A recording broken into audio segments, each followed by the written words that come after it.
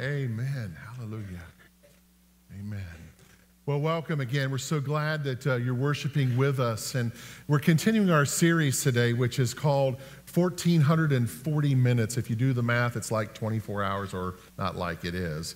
And uh, what we're really doing is we're journeying this, these last moments of Jesus' life and the whole um, uh, significance of what we're trying to accomplish is to help us to tune into the victories as well as the pain, as well as um, uh, the teaching, as well as the emotion, the mood, and the passion that happened in those 24 hours. And, and our goal in this series is to really get us there. And as we travel this Lenten season, that's really what we're trying to accomplish you know, the Lenten season is a season where, where we're called to look inward. We're called to examine ourselves. We're called to find out in, in who we are. How do we come forward as a new creation? Uh, bring forward penance and, and um, repentance and confession and all those things. So today we're actually going to be taking a, a journey into uh, the Garden of Gethsemane.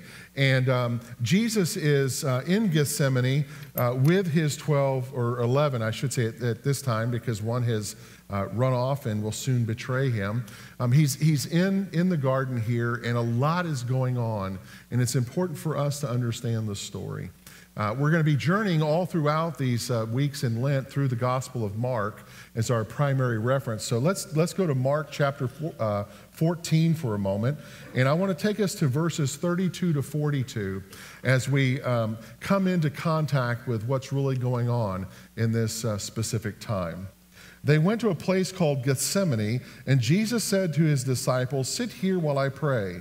He took Peter, James, and John along with him, and he began to be deeply distressed and troubled. My soul is overwhelmed with sorrow to the point of death, he said to them. Stay here and keep watch. And going a little farther, he fell to the ground and he prayed that if possible, the hour might pass from him.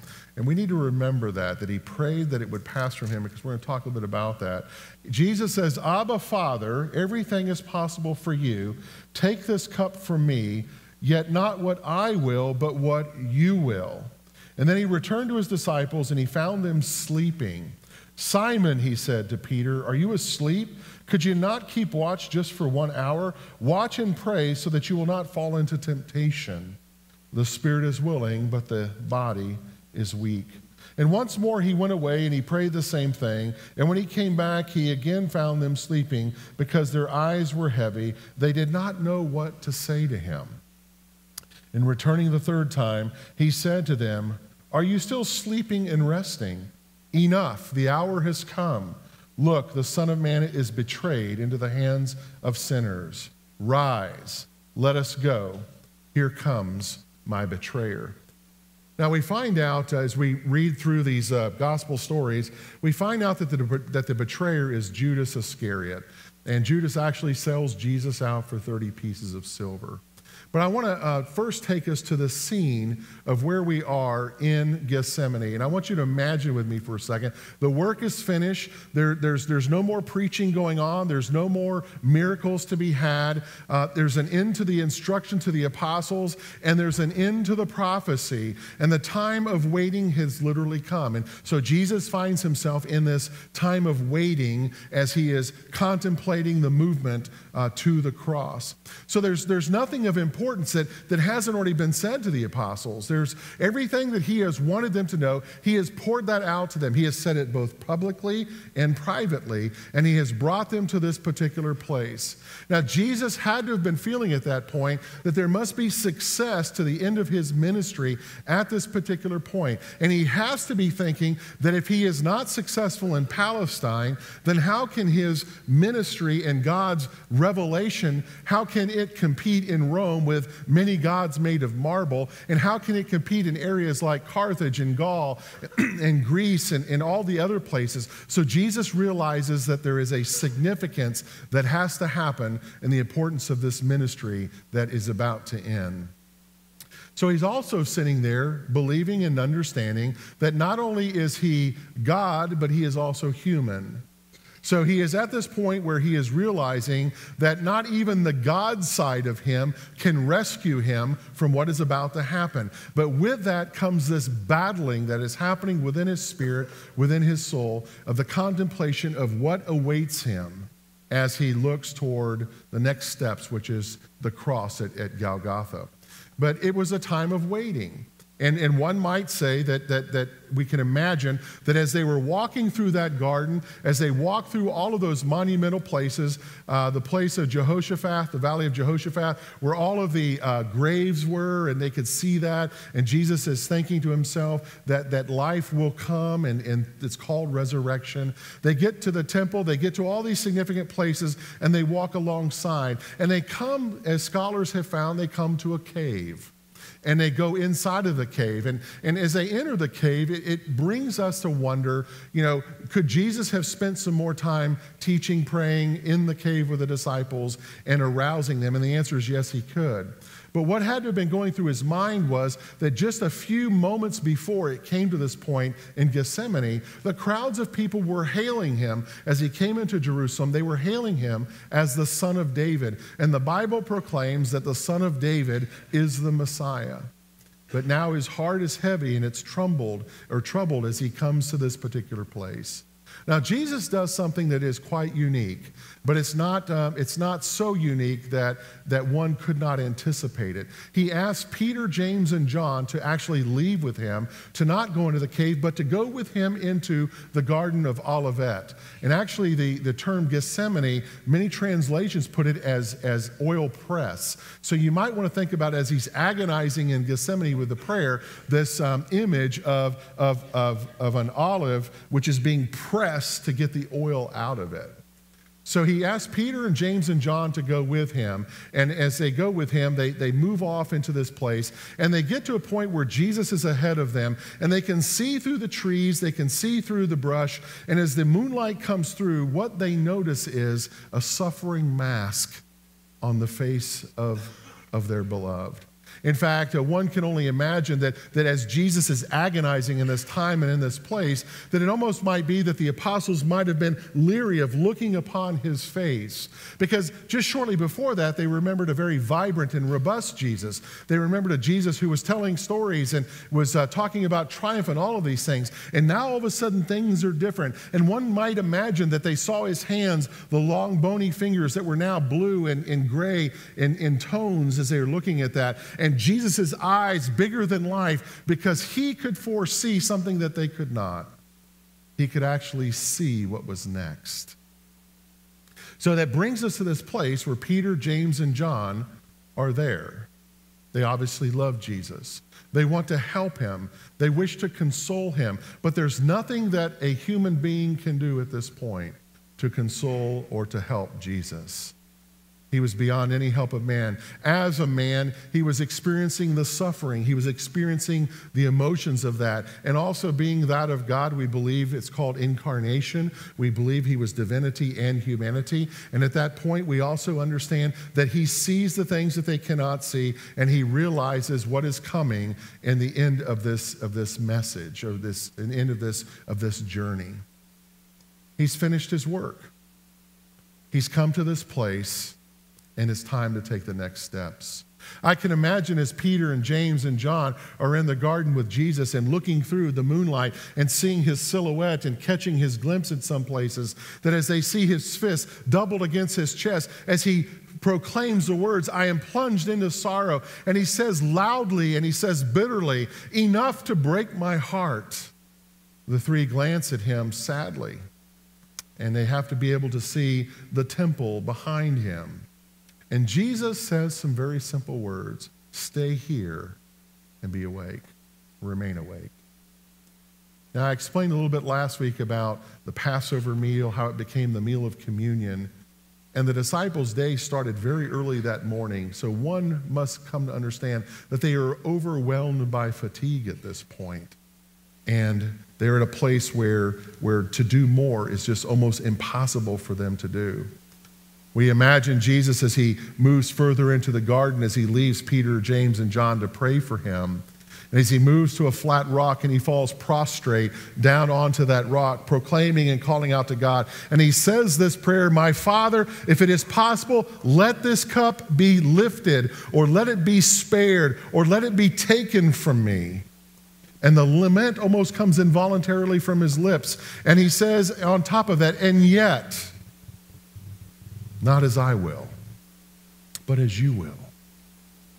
Now, no one knew better than Jesus at this point as to what was about to happen. And, and, and Jesus realized that the time was coming for him to expire, so to speak, that his death was short to come. And every minute and every hour that he was living, and as he was moving with the disciples and, and knowing what the end result was going to be, his humanity became to overwhelm him and came to that point. But he also knew that within God the Father would be an ultimate victory that would come to him. So Jesus is in the garden and he's waiting. Waiting can be a difficult thing, can't it? Waiting is one of those things where it's, a, it's an intense and poignant of all human experiences. Uh, sometimes it might be easy to say that it's an experience above all experiences, that it uh, strips us of affection and, and, and self deceptions, and, it real, and it reveals to us the reality of our needs. It expresses and screams to us our values and, our, and, and what we need of ourselves. And waiting at its most intense moment is wearying. and it's wearying at that moment and it can overwhelm us and come in a, in a very powerful way. Let me explain to you what I mean. The nervous actor who is awaiting for the curtain to rise, there's this anticipation, there's this nervousness that's on his heart. The paratrooper who is awaiting that first jump has that anxiety, that anxiousness of what will come. How about sitting in the dentist's chair?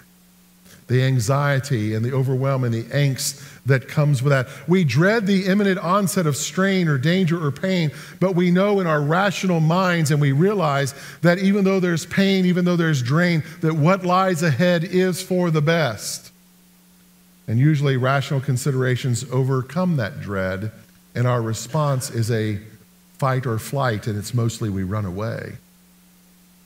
So, so we count it as weakness or, or cowardice if, if we do that, if we run away. We also count it weakness if, if we wait and we find ourselves hoping and praying that that which lies ahead, that which is supposed to be for the best, we find ourselves hoping and praying that just by chance it might not happen. The actor, there maybe there might be weather that causes the play to be canceled and the curtain does not rise.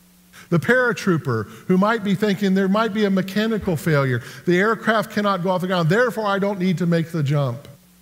The dentist's chair.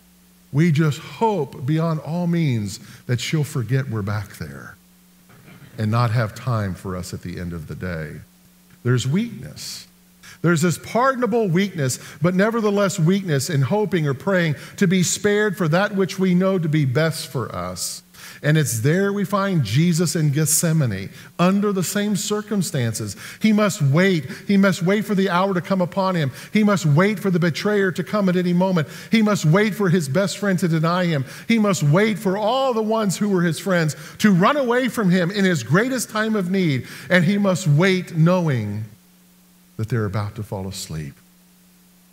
W.H. Vanstone says that there's, a, that there's another way for us to look at this this waiting thing and this intensity and this emotion that happens. Here's what he says He says, It's the manner of waiting in which the prisoner in the dock or the prisoner's wife or a mother waits for the jury to announce its verdict. The manner in which an intelligent man waits for the surgeon's report on a biopsy on his liver. The manner in which, after an explosion in a coal mine, a wife awaits at the pithead to hear if her own man is safe. One waits at such moments Vanstone says, in an agonizing tension between hope and dread, stretched and almost torn between two dramatically different anticipations. A wise person, he says, will then steel and prepare himself for the worst, but the very tension in which he waits shows that hope is still present, and that hope will often express itself in unbelievers, in the urgent and secret prayer, Oh God, please let it be okay. And in such hope and prayer, there is no weakness, Vanstone says. No failure of nerve, Torn between rational hope and rational dread, one may properly pray for the best while still prepared for the worst. Now and then, John awakened. And he could see Jesus agonizing in prayer in Gethsemane. And he could, he could hear his words, and, and then his eyes too tired, he would shut them again. There was this little, little grove where the Son of Man was beseeching and calling out for mercy to the Heavenly Father to please do something. And yet, John could not respond. And so, in a real sense, Jesus is alone in the garden. As he's prayed, his anguish deepened. It's unbearable. He stood, he was close to a stupor of fright at the visions that he had seen, and he comes back and, and he sees the three, perhaps seek to seek human comfort, and he's agitated, he's disappointed, he's overwhelmed, he's concerned, and he says to them, How can you be sleeping? Rouse yourselves and pray that you may not succumb to temptation. He was dismayed at the, at the sight of his defenders grumbling and fumbling and bumbling as they were trying to come up with excuses as, as to why they fell asleep. And they weren't really asleep, they were just resting their eyes. And Jesus looks at them. You see, the 12 may have originally been chosen by the Father, but Jesus, the Son, chose these three.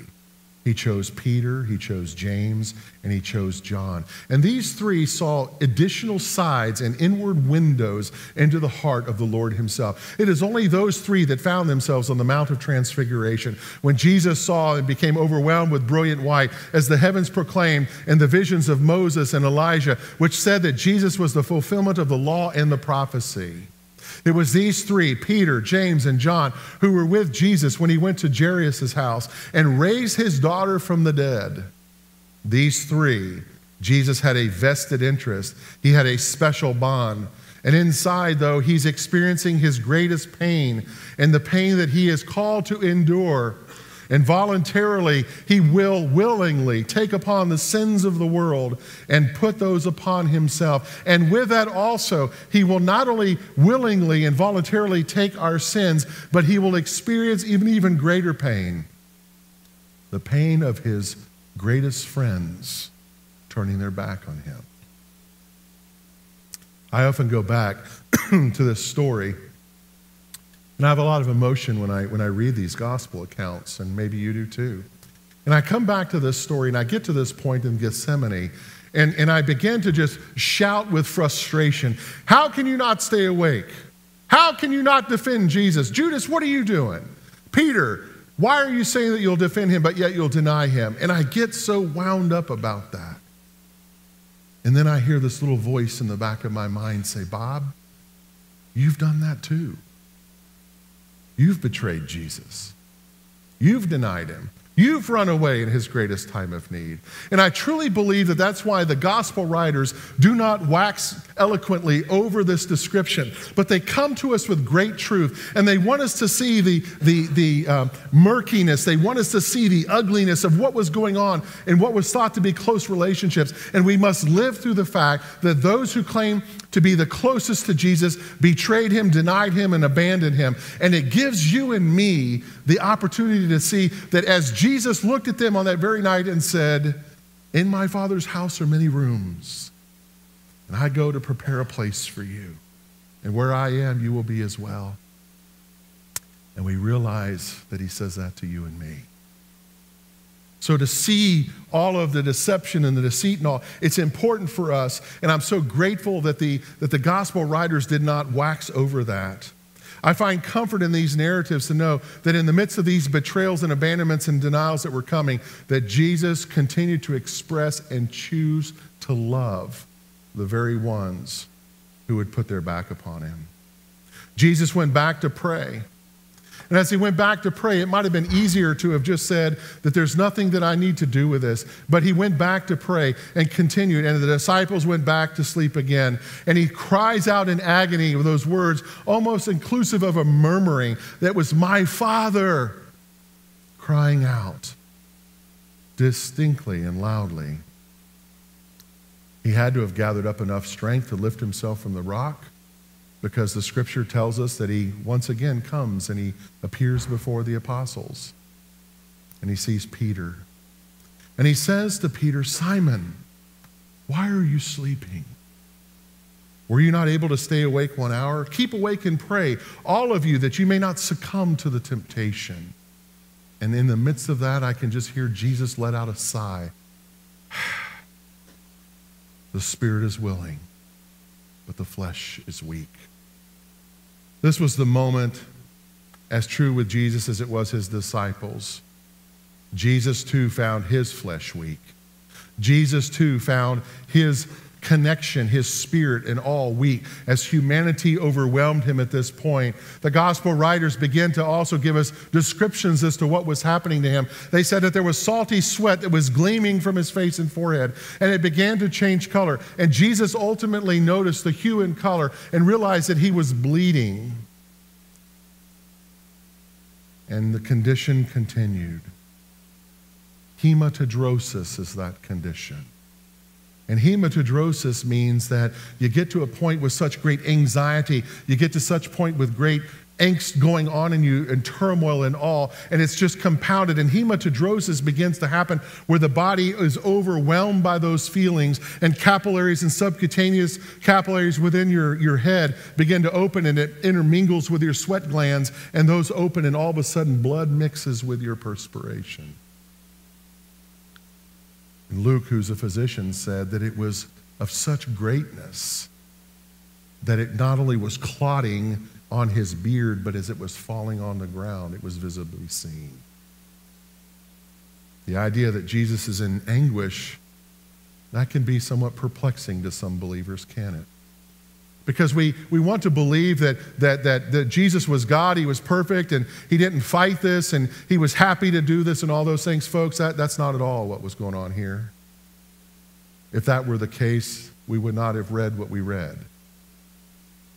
Nowhere do the gospel writers say that this was a, a song and dance for Jesus. Nowhere does it says that he was so excited to do this that he was doing the happy dance and making things happen. It says he agonized agonized in prayer. The idea that he's in anguish pleading with God is unsettling to some Christians. Some think that, that evokes um, uh, great compassion. Others begin to think, and they see this image of Jesus asking God to take the cup of suffering from him, that it's an apparent anxiety over the crucifixion. And they begin to say that that lacks nobility and that lacks courage. Others will say that the image may appear to indicate a lack of faith on Jesus' part. They would perhaps expect to see Jesus willingly and wanting to, to face his torture and death without agitation and without fear. But, folks, we must never lose sight of this. It's the end result that we need to see, and that is that he willingly, willingly, willingly accepted our sin. In some small way, we can relate to that, can't we? In some small way, haven't you and I been in a Gethsemane experience? In some small way, hasn't God been speaking to us? In some small way, haven't we found ourselves agonizing, pleading to God, please take this cup from me. You can't be asking me to do this. There's no way I'm going to do this. Please show me an easier way. Have we not found ourselves there? Of course we have. Maybe God's calling you into a ministry into this church. Maybe He's calling you into ordained ministry. Maybe He's calling you to be a missionary. And so often, as we look at this, we find ourselves wrestling with these things and we are not so willing to say yes, ultimately seeking and bargaining and wrestling with God. And like the rich young ruler, maybe God is saying to you, it's time for you to define who your God really is. And we're pleading, Lord, take this cup from me. But then the ultimate result is out of obedience, we find ourselves having to answer. It's not what I want, but it's whatever you want. And we take that step forward. Matthew, Mark, and Luke allow us to hear Jesus' prayer. And we can identify with Jesus' pain. And I think it's so important for us to see that our Lord is in pain. It's so important for us to, to also know that He's God, but to also remember He's human. It's so important for us to know that, that He makes the example and to see the anxieties, to see the stresses, to see the strains, to see all that He was enduring makes for us a more credible witness because how could Jesus hardly be a credible witness if he did not have to endure temptation, if he did not find himself ever above the fray, if he was never in the wrestling match? See, Satan battles the heart every day, doesn't he? In every human being. And Satan battles our heart, and, and, our, and our lives are hardwired in a sense that, that you and I will fight for uh, the right to live in everything that there is about us. Whether we are aged, whether we are dying, we are going to fight for life. And that's just the way that we're wired. Our human bodies resist that temptation and resist that ability to just let go. And every wire in Jesus' body was firing in that same circuit that night. And here was a 34 year old male who obviously was of good health. Why would he not want to live? His body was in perfect condition. And yet he prays the prayer Not my will, but thine be done. What do we learn from this struggle? What do we learn with Jesus grappling this whole deal here. And one thing that I learn is that, that we need to be sure to see, make sure that we see that Jesus is not some joyful martyr who's bent on self destruction. He's not an unwilling pawn forced into taking on this sacrifice. He is a courageous hero who knows what dangers lie ahead and he resolves to do the will of the Father. And that Jesus continued to go through that pain, went through that suffering, died for our sake, tells us something of the character of the very God who creates us. We can learn to handle pain and suffering in our own lives. And Jesus did so. And Mark says that he prayed the prayer, Abba, Father. You've heard me say on many occasions that the interpretation or the Greek word for Abba is daddy.